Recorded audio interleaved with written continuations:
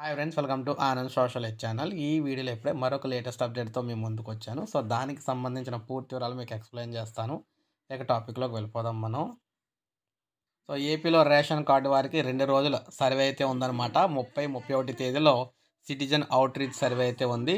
సచివాలయాల ఉద్యోగులు వాలంటీర్లు ఇంటింటికి వెళ్ళి ప్రజలతో భేటీ అయితే అవుతారు. ప్రభుత్వ సచివాలయాల ద్వారా అందిస్తున్న సేవలపై అవగాహన కల్పించడమే లక్ష్యం అనమాట ఈ నెల ముప్పై ముప్పై ఒకటి.